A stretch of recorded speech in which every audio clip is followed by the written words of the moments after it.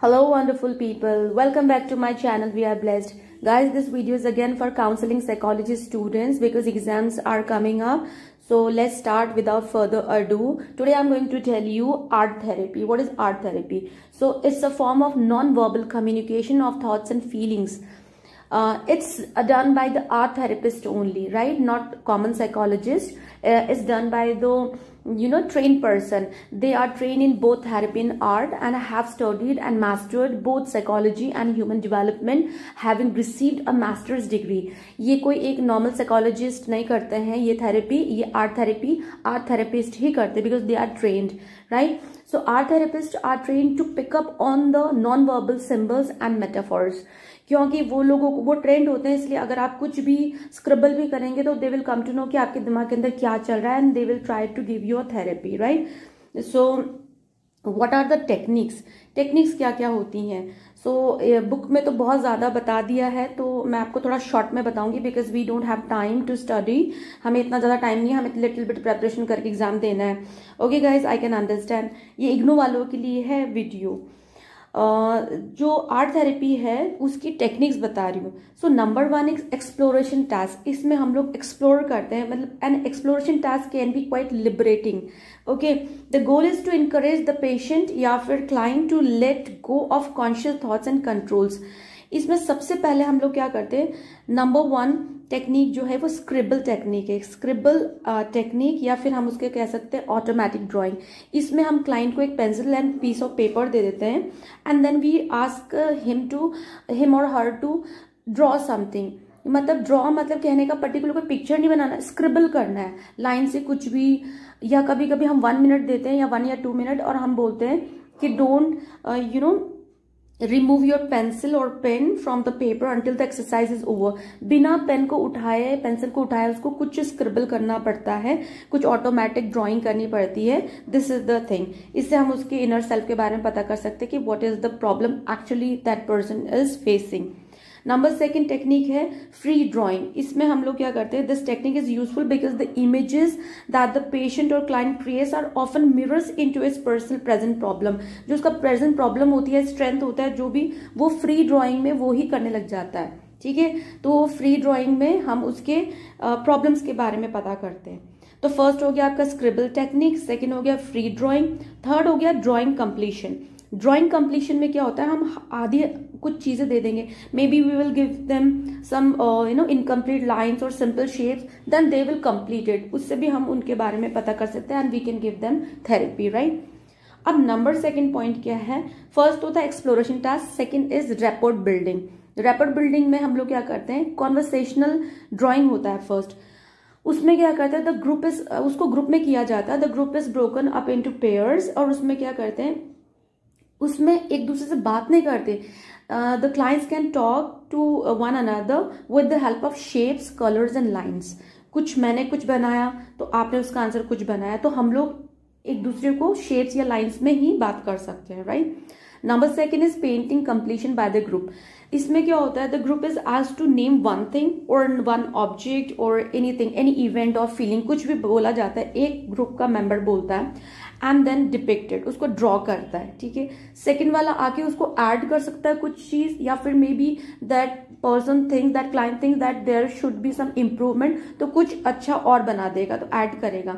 तो कोलाज को हम ऐड करते हैं। तो painting completion by the group में क्या होता है? ग्रुप में आकर सब लोग धीरे धीरे कुछ चीज़ करते हैं, या फिर एक दूसरे से बोलते हैं कि ये क्या बनाया है, इसमें ये इंप्रूवमेंट होनी चाहिए समथिंग लाइक दैट तो ये भी एक थेरेपी है। थर्ड थेरेपी इसमें हुई painting with an observer observer क्या करता है? जैसे मान लो एक क्लाइंट है क्लाइंट कुछ बना रहा है दूसरा uh, खड़ा है uh, जो ऑब्जर्वर है वो खड़ा है and then that person will depict कि आपने ये बनाया है। तो सामने वाला बंदा बोलेगा हाँ तुमने ये तो ठीक बोला but this is not about this मैंने ये इसको ऐसे ही बनाया है। तो वो दोनों क्या this exercise promotes discussion of feelings of dependency and autonomy ये इससे क्या होता है? फुल एक्सेप्टेंस आती है और एक्सेप्टेंस इशू भी रहता है कि अगर किसी को वो भी ठीक होता है। क्यों? क्योंकि मैंने तो कुछ ये बनाया था, लेकिन सामने वाले बंदे ने कुछ और डिपिक्ट किया है, उसको और डिपिक्ट कर दिया, उसको और इंटरप्रेट कर दिया। तो इससे क्या होता है?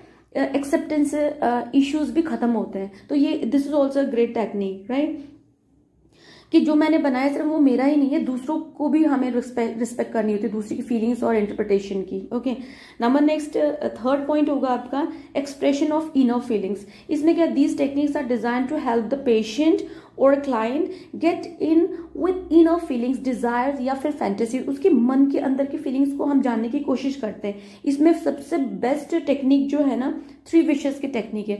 हम क्लाइंट को बोलते हैं कि you have to draw something your three wishes उसमें वो कुछ भी अपने थ्री विशेज बना सकता है। मे बी उसकी कोई ड्रीम uh, हो कोई उसकी फैंटेसी हो दैट डिज़ायर हो जो उसके अंदर रहता हो तो वो उसको उसमें ड्रॉ करने की कोशिश करता है। This is also a therapy right next would be self perception कि जो मतलब मीन्स इसमें क्या होता है ना इन दिस ना the self perception technique is aim at moving a client towards a more complete awareness of person needs and body image इसमें क्या होता है, इसकी एग्ज़ाम्पल मैं बताती हूँ, इसी एग्ज़ाम्पल से आपको समझ में आएगा। जैसे कि हमने लिख दिया कि आई एम ठीक है आई एम के बाद छोड़ दिया है उसको स्पेस और then the client has to draw something I am आप क्या हो आई एम अब वो बनाएगा। ठीक है? तब उससे पता चलेगा उसकी दिमाग के अंदर क्या चल रहा है। इट्स ऑल्सो अ थेरेपी या आई फील या आई हैव और आई डू इसको you have to paint that thing ठीक है? मतलब क्लाइंट को ये पेंट करना पड़ेगा। Next would be self portrait self portrait में क्या होता है? It's only you will be given only one minute means the client will be given only one minute one minute के अंदर ही अंदर उसको, अपने आप को सेल्फ पोर्ट्रेट उसको अपने आप को बनाना है। तो एकदम क्विक डिसाइड करना पड़ेगा what he is thinking right now तो एक मिनट के अंदर वो खुद को बना के देगा, ठीक है? Next would be draw yourself as an animal the client is also to make himself as you know animal कि वो अपने आप को किस एनिमल की तरह सोचता है। तो this is a good group building technique because the discussions are usually funny as well revealing क्योंकि मैंने अपने आप को डव बना दिया। सामने वाले बंदे ने अपने आप को एलिफेंट बना दिया। तो ये काफ़ी रिवीलिंग भी है और फनी भी होता है। Next is interpersonal relations interpersonal relations क्या है? This technique is design to make the client more aware of others okay and and how others may perceive him इसमें क्या है, आपकी टेक्निक में एक एग्ज़ाम्पल है पोर्ट्रेट्स ऑफ़ ग्रुप मेंबर्स एक दूसरे को हमें पोर्ट्रेट करना होगा। ग्रुप में चार जने हैं तो आई हैव टू डिपिक अगर मैं एक क्लाइंट हूँ तो मुझे डिपिक करना पड़ेगा दूसरे को कि मैं दूसरे को किस तरह से देखती हूँ।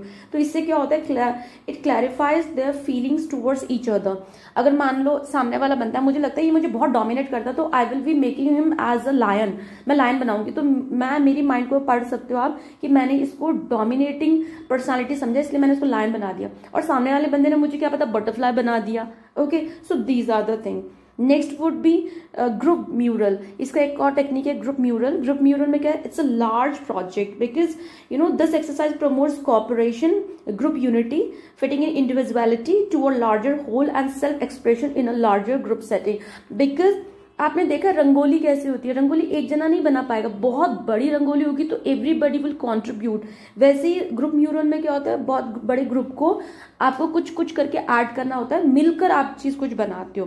ठीक है? इट्स ऑल्सो अ थेरेपी क्योंकि इससे क्या होता है? हम लोगों को एक यूनिटी वाली फीलिंग आती है कि हाँ ग्रुप ग्रुप में वर्क करना है no kind of team spirit kind of thing next is number next आपका हुआ the individuals place in the world कि जो क्लाइंट है, वो अपने आप को वर्ल्ड में कहाँ देखता है? Where does he fit means it it is design to help the client to see where he और she fits into the world okay and hopefully accept करे वो कि मैं जो भी हूँ, यहाँ हूँ, मैं वर्ल्ड में यहाँ स्टैंड करता हूँ। तो इसके लिए हम क्या टेक्निक यूज़ करते हैं?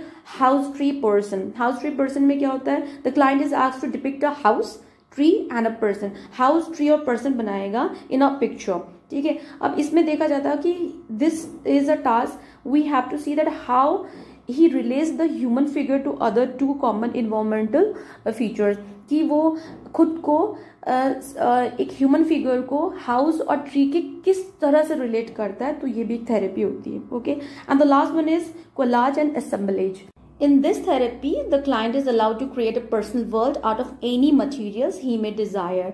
या फिर कभी कभी ऐसा होता है the therapist may determine themes आपको थीम दी जाती है और अकॉर्डिंगली आपको अपना कोलाज बनाना होता है so last point is collage and assemblage in which the client has to make a personal world अपना पर्सनल वर्ल्ड क्रिएट करता है उसको ड्रॉ करता है और उसके अकॉर्डिंगली थेरेपी दी जाती है लास्ट पॉइंट ये है आपको कि it's really very important keep in mind कि there are many techniques available to the art therapist but all of them are you know valid सभी की सभी थेरेपी जितनी भी अभी तक मैंने बताई सारी वैलिड है but no one technique should dominate ठीक है, एक थेरेपी से दूसरी थेरेपी को हम डोमिनेट नहीं कर सकते all are important so I hope it would help good luck take care